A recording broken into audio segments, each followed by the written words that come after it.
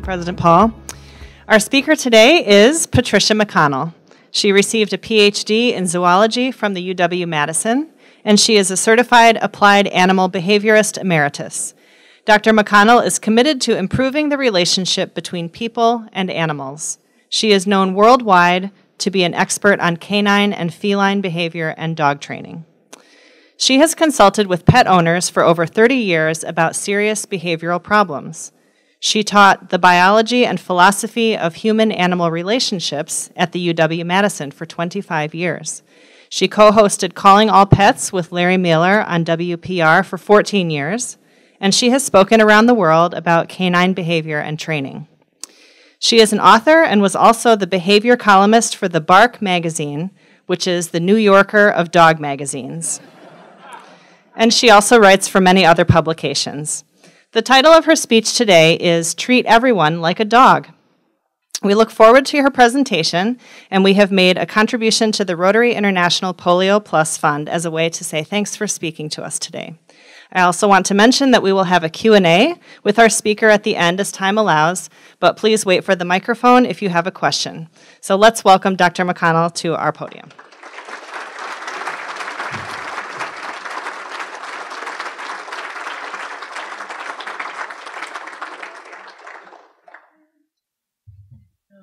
Thank you. Thank you so much for having me. Hang on. Um, thank you, Janet, for asking me. Thank you, Jane, for arrangements. Thanks to um, Dave and Ettinger Surgical Options for sponsorship. It is, is great fun to be here. I, I am going to introduce by saying there's something going on with my brain. We don't know what. Heart, lung, I don't know. We don't know. But in a few minutes, I'm going to sit down, it's okay.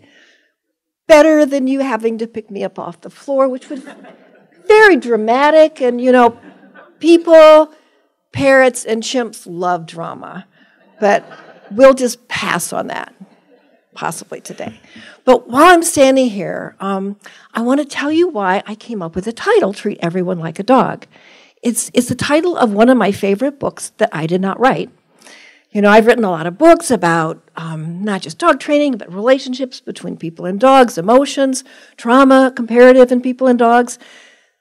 This was written by Dr. Karen London, colleague and friend, and it is not about dogs, and it's not about training dogs.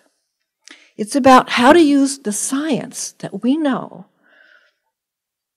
that influences the behavior of those around us. How, how does, what does science have to tell us about how we can influence the behavior of others around us?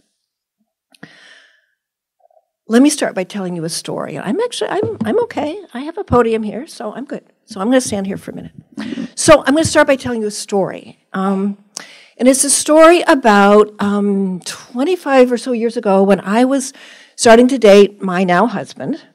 And we were sort of flush in, you know, the new relationship. Both of us had been out of relationship for quite a while. And I was just all sort of like you get, you know, and, and I was just wanting to like email him and just, you know, hi, you know, how you doing?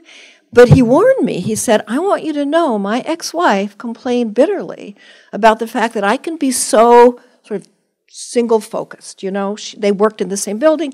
She could walk by me, I wouldn't notice her. She would email me, I wouldn't answer her. So I just want you to know. I was like, okay, got it, noted. But, you know, I was in that first flush and I thought, you know, I'd sort of like to be able to.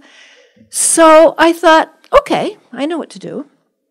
So I would send him an inconsequential email. You know, hey babe, how you doing? Didn't matter, right, if he answered or not. And most of the time he would not. So nine out of ten times he would not answer. I said nothing. Nothing. But the tenth time he answered. And I immediately, because I'm checking, answered back. And I would say something like, hmm, I cannot wait to see you tonight. So what was I doing? You know what I was doing. I was just, you got it. I was using positive reinforcement, right? Which is a profoundly powerful and the most effective way to influence the behavior of everybody around us. But it's not as simple as just giving your dog a cookie when you ask him to sit. It's actually pretty complicated if you really want to get into the weeds. And so one example for, for one example of, of one of the complications, or one of the things that's important to know, is that re- positive reinforcement is always defined by the receiver, right? So with, with my husband, Jim Billings, it was easy. he was, we were in a new relationship. He was a healthy American man who hadn't been in a relationship in a long time. There was no question, I was pretty sure what would be a good positive reinforcement. but it's not always so easy. What it, you know, so, so here's an example from actually a dog training class. When I started doing classes, dog training classes for Dog's Best Friend, the business that, that I started many years ago, um, sold it quite a few years ago too. Still going strong, I'm proud to say. So when we would have recall exercises, calling your dog to come, we would set it up in the, in the later stages, in the later weeks, to be really tough. So that, you know, there was food on the ground, there were all these distractions, right? And so I would ask the other owners, we have one person to come up, let her dog loose at the other end of the room, all kinds of distractions. And then I'd say, I want all the rest of you to decide what it, how whether she does a good job or not reinforcing her dog when her dog comes. And so the dog came every time. Dog would come, owner would be like, good dog, good dog, good dog, good dog. And you'd ask the other owners, uh, how did she do? And they were like, great, that was fantastic. And then I asked them, what did the dog do? And there might be one person who would say, uh, the dog turned his head away, went, and walked away. That was positive punishment. Adding something into the system to decrease the behavior. You just taught your dog not to come when you called because they don't like it. They don't like being patted on the head. It's the way it's, people in zoos who work with wolves or people who work with wolves, that one of the ways they get wolves to go away is they pat them on the head. Somebody patted me on the head once, and, and his description was, Your eyes got sort of murderous. right? Right? So, so you know, know, know, knowing what is, is reinforcing is incredibly important in everything we do. You, I think you all know far better than I do the, the research out there that at a, after a certain point, giving somebody a raise is far less effective than giving them agency, than giving them skin in the game, right? So people are getting raises when that's not what they wanted. So thinking about what is reinforcing for anybody, whether it's your family, whether it's in a workplace, is really, really critical, and it's very often misunderstood. Um, again, the, the, the, the receiver defines what is reinforcing. There's more, and I love this part. Um, there's a uh, wonderful neuroscientist, he's since passed away, named Jak Panksepp. He did decades of research on the neurobiology of emotions. And he was particularly interested in these studies in dopamine. Dopamine is the neurotransmitter associated with the pleasure, pleasure centers of your brain. It's highly involved in addiction, for example, tragically, right? Um, the, the people, individuals, mammals, are highly motivated, highly motivated to get a hit of dopamine. So, in the study that he did, classic kind of experimental study, I think it was rats so the study, there was there was a rat, buzzer went off, meaning you can now press lever, levers in a, some kind of order, and if you get the order right, you get the best food in the world. So you would expect when they got that food that their dopamine levels would increase, right? Well, they do, but not as much as they did when the buzzer went off. Right? What, what Panksepp found out is that it's the anticipation. He called it seeking, a seeking. He, he, he defines it as a separate emotion, seeking. And, and so, so when I said, mm, can't wait to see you, right? So keep that in mind because what it turns out is that the anticipation of something really good is highly, highly motivating. But it can't be something you expect to get 100% of the time. So if you give your employees a bonus every year, same amount, or maybe, you know, up with inflation, it loses its power. There has to be a kind of anticipation of what's going to happen. I don't know. It has to be variable reinforcement, which is why, before I'm done with this talk, somebody here is going to get reinforced for some reason by someone, somehow, and I'll just leave it at that. there's another, how am I doing? There, there's, there's another aspect of positive reinforcement that can be really problematic. So, one is accidental reinforcement.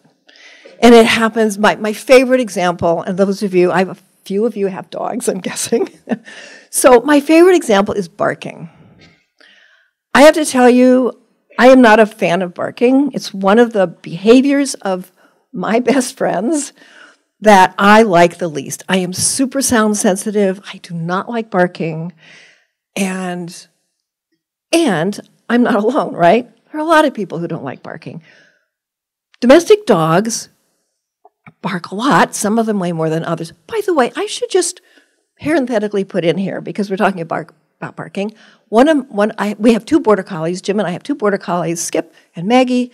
Um, Skip never barks, ever, ever. Bless him. Bless him. By the way, he's from Ireland. I should just mention he was imported from Ireland. Um, but but okay, barking. So your dog is barking. Ginger, Ginger, be quiet. Quiet, Ginger. Right? Barking is a social phenomena in domestic dogs, that is contagious and is reinforcing. So every time you yell at your dog for barking, you have just reinforced it. right? It's really easy to do. And we do it all the time um, accidentally. And here's, here's, I think, the most common, common problem. I have it too. I am the first to tell you it's about timing. How many people have a dog who begs to be petted? right? How many people have a dog who like slaps their paw in your lap, right? And and how many people, hand is still up, um, how how many people say that's enough and then turn away, and then eventually, not too long from you know, start petting their dog, right? right? So and and think of it, how many of us have an employee who, oh, I don't know, maybe you have a colleague who is sort of constantly pestering you, and you sort of put them off, and you put them off, and you put them off, and you say, okay, fine. I'll, I'll, I'll work on your project with you, even though you don't want to. Or a child, you know, you have a son who wants tickets to a, a, a concert, and you're like, no, we can't afford it. No, I don't want to, no, no, fine, okay. Request number seven, right? You say, okay, right? You have just created incredibly powerful persistence and resistance to extinction. So, if an, if an individual animal, whether human or four legged or two legged birds, learns that if they ask for something once, nothing, twice, nothing, three times, nothing, four times, nothing, five times, they get, they, they get a reinforcement. They're like, okay, I, I've learned, I got it. I have to do it five times. Okay. And if then the next time it's eight times, they're like, stamina's the name of the game. Not going to give up here. I got it. I got it. And it's really hard to get out of it, right? But it's really powerful because all the research shows not only you teach an individual to just keep at it, but when you look at extinguishing that behavior, do you know what I mean by that? So, um, basically, when you extinguish a behavior, you just stop reinforcing it, period, end of sentence. And then you look at how long it takes to go away. Um, there's even something called extinction behavior that relates to all of us, I'm sure. I love this example. Have you ever been to an elevator that just took forever? So you press it, nothing happens. You press it again, right? And then right before you walk away, have you ever gone, right? That's called extinction behavior. So often, when you're trying to get a behavior to stop by not reinforcing it, there's a period of time where it gets way worse. And that's when animal trainers are like, yes, you're making progress. But it's really difficult because you think, I'm doomed, you know, this is never going to happen. So, so again, persistence and a lack of extinction. If you, if you don't decide, I'm not going to reinforce that. And again, I have a dog on a couch who knows exactly how many times to beg me to pet her. Okay. So there's another, there's another aspect um, of reinforcement, and I'm just I'm just talking about positive reinforcement today. Although there's going to be a little something at the end. Yeah, I think there's time. A little something at the end, and then I'll leave a little bit of time for questions about um, classical conditioning. But one, one other aspect of positive reinforcement is best described by what's called the Premack principle. Premack was, uh, I believe, a psychologist. And he basically, his, his principle is very simple. It's basically that the most predictable behavior reinforces the least predictable behavior. Which sort of was like, what? All he's really saying is that it's I'm circling back to what does the individual want, to what is really reinforcing. So I'll give you a really simple example. Um, when, when we got Skip, for example, um, he was three years old, a dog from Ireland, he was three years old. Um, competition sheep herding dog. We have sheep on a farm, and I compete in sheepdog trials. Um, all what he wants to do, as much as almost anything, is run to the barn because that's where the sheep are. So when I got him, he opened the door, bang, he's out the door right? And he's gone. And he's just, he's so fast, he's like behind the barn before I can even stop it. So that was the most probable behavior, right? I knew if I opened the door, he would start running to the barn. That's the reinforcement. And that's what's really hard to do is you sort of have to wrap your round your head around the problem is the reinforcement. So I just simply taught him if you pause one second, no, that's too long. Second in behavior is endless. If you pause for a microsecond, I would literally go, stand, okay. Stand, okay. Stand, okay. Right? And in a week, you just stand there until I said okay. Now he might be dancing around. but here's my favorite example. And again, this is from dogs, but you can all generalize it. Um, years ago, a long time ago, friends were over, had a new border collie, young female, a bunch of friends were over. It's evening. We're sitting on the porch having a beer, and this dog comes up with one of those nasty, long dead birds in her mouth. It's just got an entire zoological park of things you don't want in it, right? And it, it was bad, right? And so I went to get it from her, and she looked at me like this little look in her eye, and she took off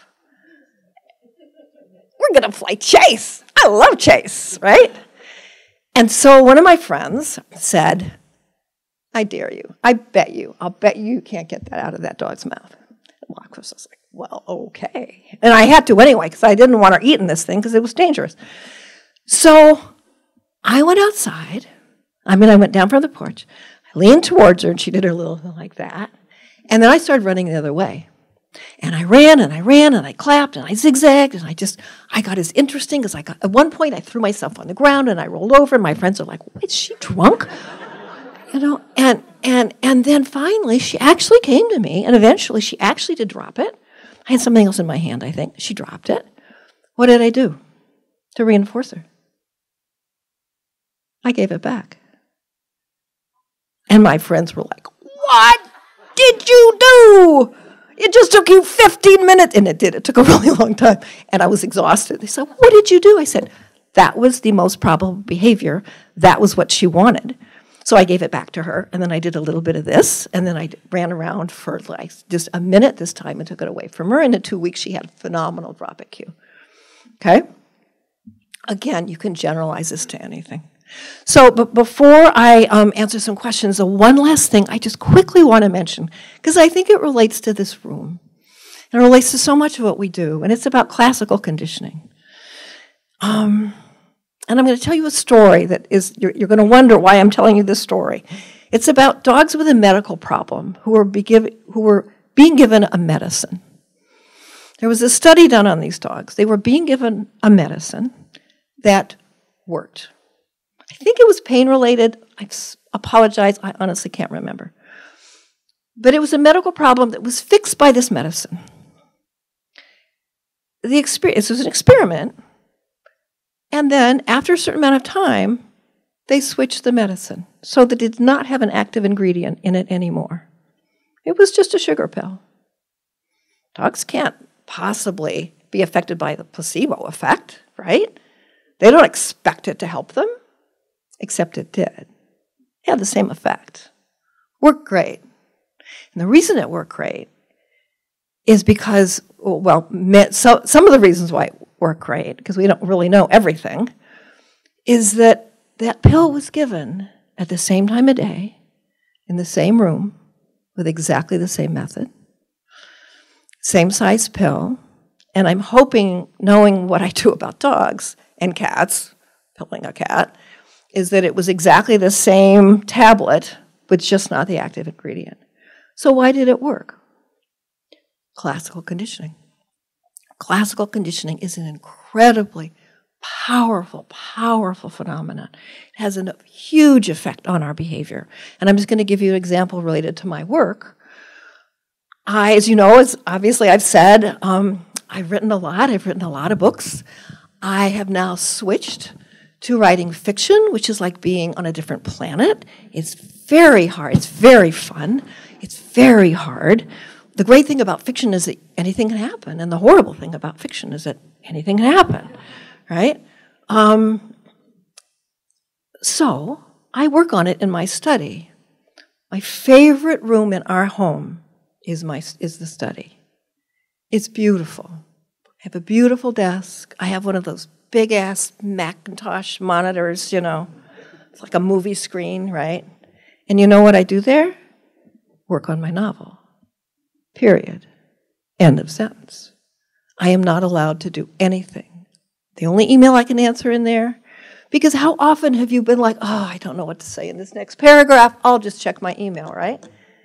I can only check email if it's about the book. I can only go online, or you know, I can only go on Google if it's about the book. I can't do anything, anything else in that room. So there are many, many days where I'm in there for an hour or half an hour or not at all. And it's my favorite room in the house because I've classically conditioned myself to write that kind of work in that room. And that brings me to this room because I, I was telling Paul, my dad was a banker. And, and part of what I loved about my dad and his job was how invested his bank was in the community um, which is something I think a lot of people don't realize. And this room, to me, is about community, you know? And, and I, would, I would bet you a lot that there is a lot of oxytocin and a lot of dopamine in this room because you've all classically conditioned yourself to come to the same place with the same people with the same you know structure in the best of all possible ways so I would, you know, I don't know how much people in business think about how is your workspace used? How do you use your space? You know, how do you how can you use classical conditioning in the simplest of ways to make your life better? Because that's what all this is about, is understanding the science behind behavior to make your life better. And once you understand the basic principles, you can not only influence your son, you know, your daughter or your husband or the hardest individual of all to train, which is yourself. So, thank you. Happy to answer questions. I'm, I'm gonna I'm gonna sit. I think there's time for a few questions, but I'm gonna.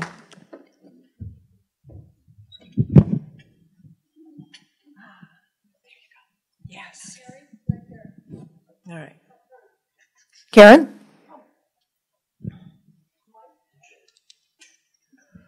Oh, do I? No, you have a mic. Thank you. I need to learn so much more. I am not a dog person. I like dogs so much that I don't have one because I wouldn't be willing to give them all the care they deserve. Then I would say you are a dog person. Thank you. my sister in law is a love me, love my dogs person, and her dogs are unruly and I struggle every time I am around them and her. Mm-hmm. Any advice? Yeah, no, that's, I love that question. I love that question. So this is your sister, sister-in-law? sister. Sister-in-law. What's, what's her? What does she love? What does she love? So, so, okay, anything else? She's, she said probably more than her husband, certainly more than her sibs. So I guess, you know, thinking as quickly as I possibly could, not knowing this woman, which would really help. I mean, the more you know her, the more it helps, right? But, but one thing I would think about is try, you know, what is, there, there sort of one of two things. If the dogs are not in the room, how can you reinforce your sister-in-law? Are there moments, or could you influence the dogs? That's what I do, frankly. No, it's not, it might not be as hard as you think. I have to tell you, I have dear friends who just got a new two year old Springer Spaniel who was a wild woman, basically. Um, and they were exhausted, absolutely exhausted. Because they were constantly working with this dog. The dog barked if she wasn't getting attention. She was crazy, high energy. And I said, Can we just sit here and ignore the dog for a minute and see what happens? Dog, now I'm not saying this is going to happen to you, but the dog went in the crate and went to sleep, right? So, so one thing to do is you and your husband sit down, figure out what it, what is what is the unruly part. You know, what is it that bothers you so much, and then think about what you do want, and then find it's called it's called um, both shaping and capturing. So say they're you know they're idiots at the door, right? They're just idiots at the door. They're jumping all over you, and then the second one gets its down on its feet all down on the ground. You're like, good, you give it a treat. Okay? So so that that that might be the easiest thing to do because I don't know your sister well enough to know how you could use reinforcement. So good luck. Uh, that that is a very common um, very common question to advice columnists. By the way, you are not alone. So I'm I'm just going to go until somebody tells me. I know it's really important. Oh, it's it's it's one o'clock. So if I'm supposed to stop now, please somebody tell me. Oh, 105. Okay, I'm very, very focused on never going over. Okay, so another question? I know that wasn't a perfect answer, but it's a start anyway.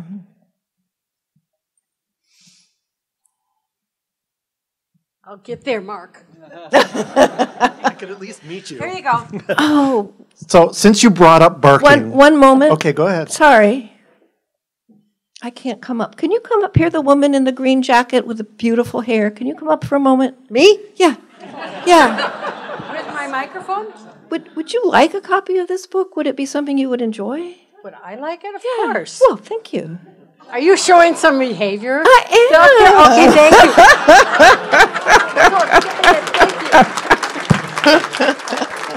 you. Thank you. You're welcome. Reinforcement to being on the microphone committee. Exactly. My first question is really for Susan, if I can borrow that book when you're done with it. So since you brought up barking, I'm going to ask the question that probably is the most common that you get. So my dog does not bark except when she goes out in the backyard. Mm, okay. She goes out back, she loves to bark, bark, bark, bark, bark, bark, bark until Okay. she's done and she comes back in. Okay. I cannot figure out what is motivating her, what's interesting about barking outside. When we go out for a walk uh, together, she doesn't Good. bark. Good. Good. And she doesn't bark in the house all that She much. doesn't bark in the house. Good. Unless we're like running in the house. which, Right, she you know, gets that's, aroused. That's not allowed. Um, But you just you just nailed it. You just answered your question.